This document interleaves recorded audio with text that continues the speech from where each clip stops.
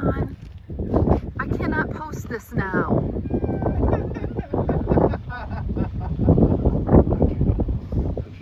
We're gonna have to edit it.